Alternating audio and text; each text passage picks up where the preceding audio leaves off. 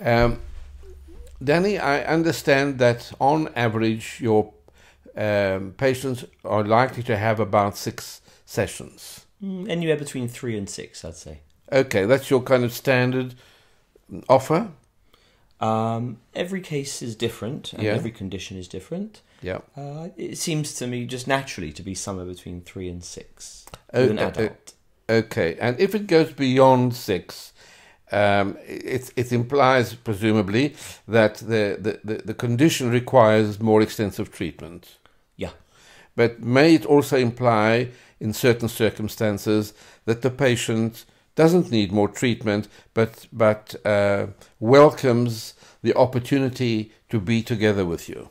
I would uh, certainly agree with that. That there are some patients where, from a from an objective point of view, from an orthopedic, physical or physiological point of view, uh, they don't seem to be showing any serious signs. Yet treatment continues at their bequest.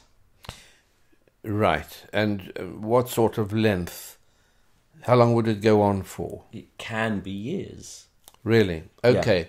Okay. So that kind of brings me to the topic of dependency, um, which, in, by the sound of it, it, it feels like you're referring to an unhealthy dependency. Where By the- the sound of it, in other words, not necessarily. Okay. Yeah. Yes, but because you say there's no real osteopathic need, Mm. but the patient comes back, it might be for. Let me change that to no orthopedic need.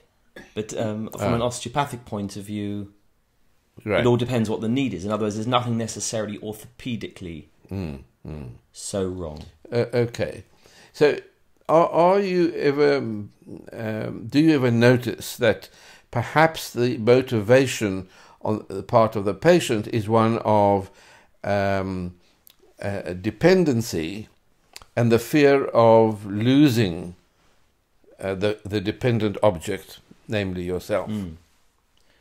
Um, I would say, yeah, there is there there is an element of that, where where there, where some of it seems to be wanting to maintain the relationship with the osteopath, um, the reassurance, the regular reassurance by Mm. the osteopath of them not having anything untoward, um, and just a good sort of positive feeling and relationship and atmosphere Mm. during the sessions, which they enjoy. Right. Okay, which is uh, in itself not a bad thing, but uh, would could that lead to perhaps boundary violations in time? Um, it might do, but I think in those particular situations, it's up to the osteopath to be clear about the boundaries, um, explaining to the patient what their prognosis is, what would happen if they didn't come for treatment, to be honest about the frequency with which they need the treatment, um, and not to lead them on. Right, right. Uh, so it's, it's it's may happen that in some circumstances the patient may say, "Look, I need a regular MOT, and if I come once a fortnight, that that would suit me." that would suit me and also up to the osteopath i think at a certain point in the treatment to say should we try and move to two week two uh, to once every two weeks?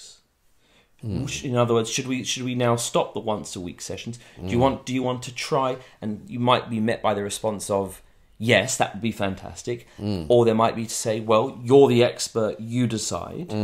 Um, or they might or you might be met with the answer um, well uh, what will happen if I don't come once a week? At which point, if you genuinely believe that nothing serious would happen, move to once every two weeks or once every three weeks, and continue to try and increase the gaps.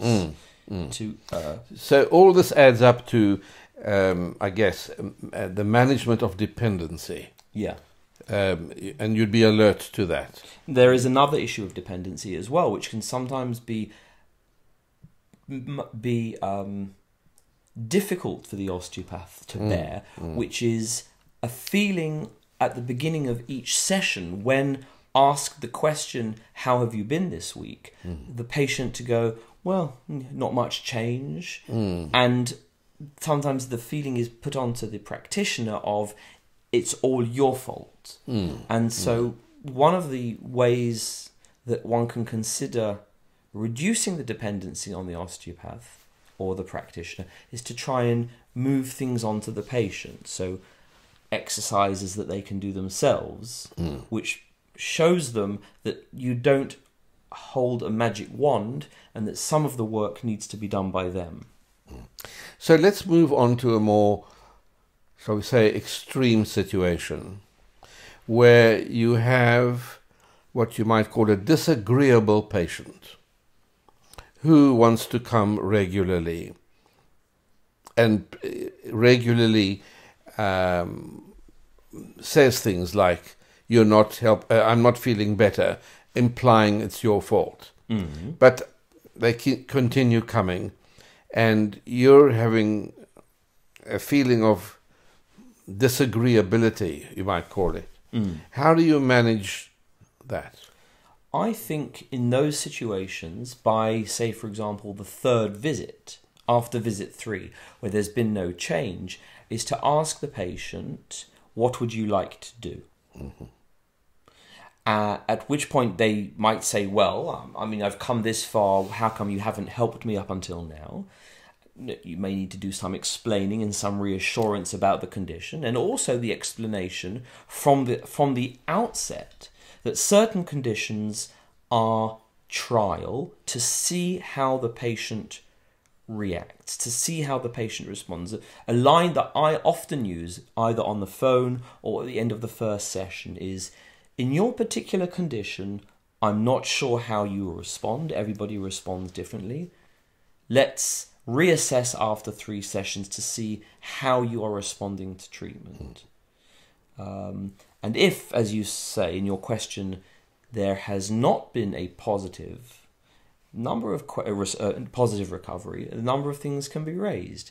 Why do you think that is?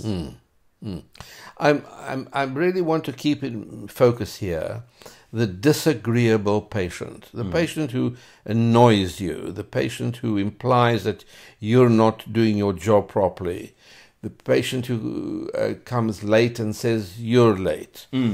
Um, think, how do you cope with the awkward patient in the practice? I I personally in that situation, uh, it does it does knock you a little bit in those situations, and I try and keep myself on track there by really checking by really checking that I'm fulfilling my role as an osteopath. And by that I mean am I sticking to time? Am I behaving and talking to the patient as an osteopath should talk? Am I collecting fees in a professional way? Am I doing the necessary orthopedic tests? If if I if I can say yes to all those questions, then that strengthens my position in my mind that I'm doing the right thing and that there's something going else something else is going on here to make the patient disagreeable. Mm. And I think it takes away some of the bla- the blame from me. If mm. I'm able to mm. to check that I am fulfilling my role as an osteopath, and it leads to a better discussion with the patient when you have maintained strong boundaries. Okay, so i during the workshops that we ran together, we had a topic called the heart sink patient.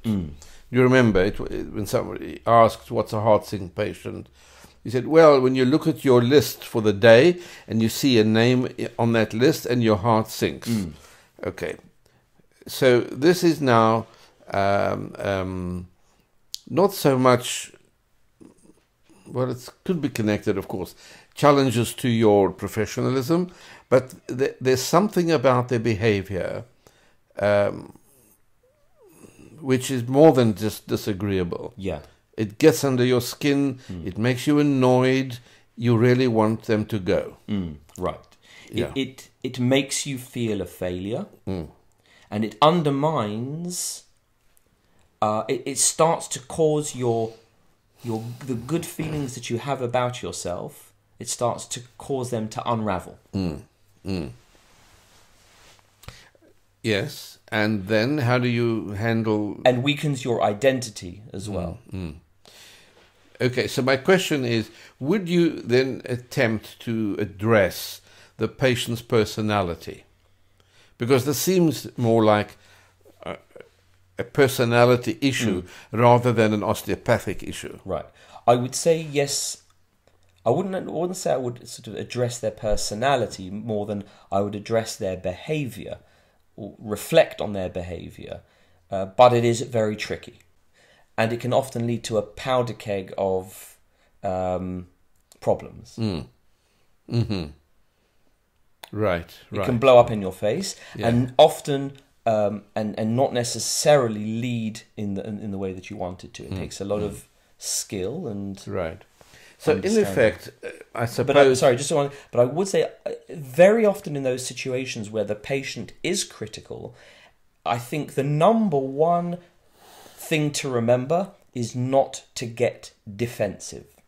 By Right. the osteopath. not to get defensive. Can you say more about to that? remember that your role at the end of the day is to help the patient. right.